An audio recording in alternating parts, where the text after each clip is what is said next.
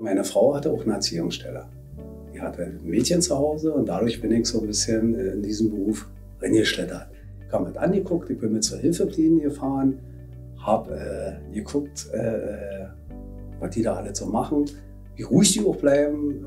Ich habe kennengelernt, dass Eltern total ausrasten, haben sich nie um die Kinder richtig gekümmert, aber ich möchte mein Kind sehen und waren und alle sind professionell habe ich immer so richtig gestaunt. Und ich vom Bau komme, hätte ich dann gesagt, Mensch, ich stehe gleich auf und dann schubst ich den um oder so. Kannst du ja gar nicht machen, den Beruf. Ja, ja und da habe ich erstmal äh, so erfahren, dass es einen Haufen Leid gibt. Man kümmert sich ja ja nicht drum. Ich dachte immer, zu DDR-Zeiten kannte ich noch, dass es ganz viele Heime gibt, aber nicht mehr heutzutage. Wo wissen, dass es Kinderheime gibt, Erziehungsstelle kann ich außer meiner Frau ja nicht. Naja, und dann habe ich mich entschlossen, eine Ausbildung zu machen.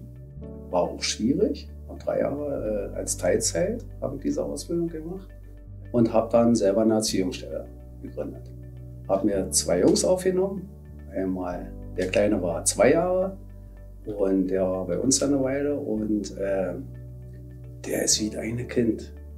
Der ist wie mein Sohn. Der sagt zu mir, Papa, der fühlt sich so wohl und der kann ja nicht für seine Herkunft. Und dann haben wir über Trixie erfahren, dass ein kleiner Junge Eltern sucht. Dann haben wir uns gemeldet, dann sind wir nach Leipzig gefahren, haben den ein paar Mal äh, äh, gesehen, mit dem gespielt. Und das ist ein völliger Volltreffer. Das ist so was Süßes, das, ist, das macht richtig Spaß, so einem Bengel zu helfen.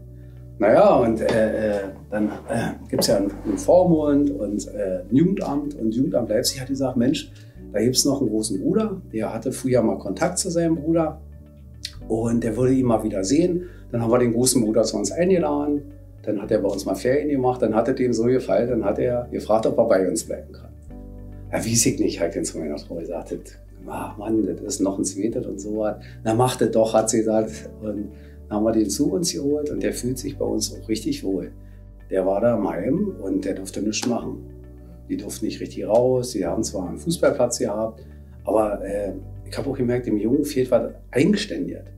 Dass der mal mit mir draußen Gartenarbeit macht, dass wir wieder mal einen Baum umsägen, dass der mit einem Hammer mal hammern kann, Nagel in der Wand schlagen oder sich ein Haus, Baumhaus bauen oder das hat ihm alles gefehlt und der blüht so oft bei uns, das, das findet er einfach toll.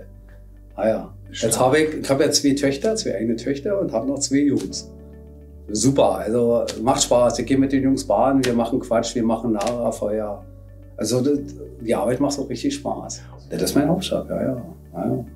Das ist natürlich ein verantwortungsvoller Job, weil ich muss 24 Stunden die ganze Woche da sein. Das ist nun mal so. Da muss ich drum kümmern. Und ich mache auch keine Unterschiede. Wir fahren zum Beispiel in Urlaub, wir fliegen auch weg, nehmen die Kinder mit und das ist so schön.